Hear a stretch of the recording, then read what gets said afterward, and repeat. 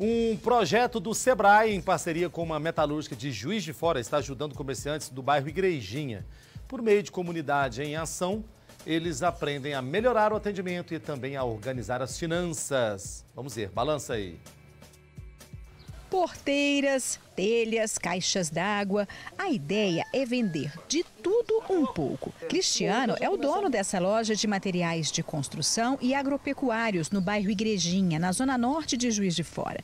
O ex-mecânico trabalhou muitos anos em indústrias. Quando o setor passou por uma crise em 2015, ele decidiu abrir o próprio negócio. Mas sem experiência com comércio, teve dificuldades no início. Foi muito difícil, porque assim, escolher um ponto, né? lidar com, com o público, né? que ca, cada um é de um jeito, mas a gente foi superando.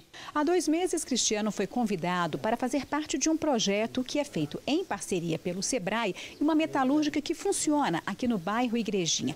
Tudo o que aprendeu nos cursos ele já colocou em prática e garante que gostou dos resultados. Teve a primeira parte comportamental do curso, né?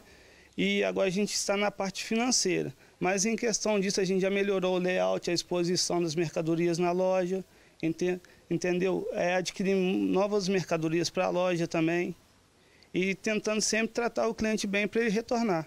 E nesses dois meses em que começou a frequentar os cursos, o movimento na loja já aumentou 16%. O projeto inclui visitas frequentes de consultores do Sebrae. Eles orientam sobre a administração das finanças e a gestão de negócios. A gente está tá vendo aqui hoje que o, o percentual de cada item que, que que a gente tem na loja. Então, cada item que, que a gente vende vai ver a porcentagem de cada item, quanto vai dar no final, na soma, no mês, o lucro que, que te dá do, de cada produto, entendeu? E cada produto vai estar dentro de um grupo, tipo assim, rações é, um, é uma margem, cimento é outra, entendeu? Madeira é outra, cada item vai te dar no final. Facilitando a gestão. Facilita na gestão. Ao todo, 30 comerciantes participam do projeto Comunidade em Ação. Há um ano, Renata produz bolos em casa. Ela recebe, em média, seis encomendas por mês e viu nos cursos a oportunidade de expandir o próprio negócio.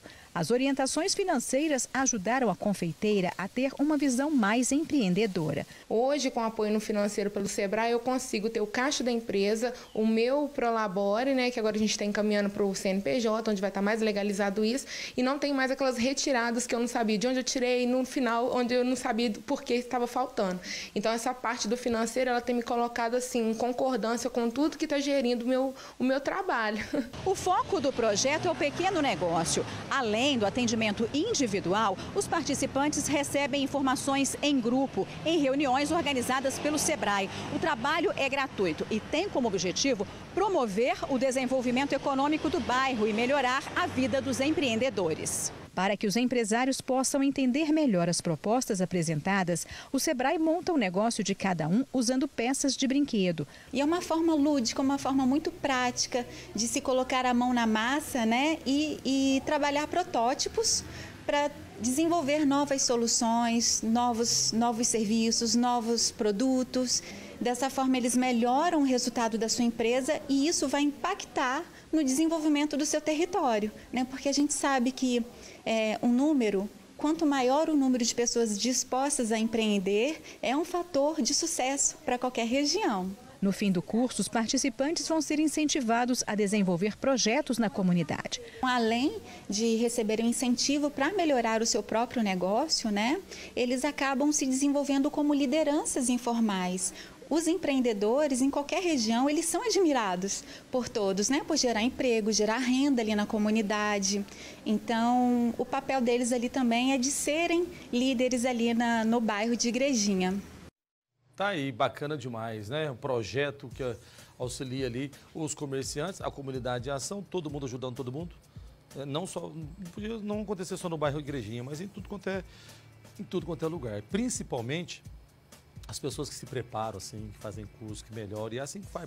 Para isso existe o Sebrae, para isso existe outras entidades que fazem isso. E, pra, e, e hoje em dia, gente, está tudo tão difícil financeiramente, tão difícil de entrar dinheiro em qualquer lugar, que você tem que sair na frente. Qual bicho de estimação que combina com o seu estilo de vida, hein? Hã? Eu conheço uma turma, eu conheço uma turma aí que não é cachorro, que não é gato, que é bicho preguiça.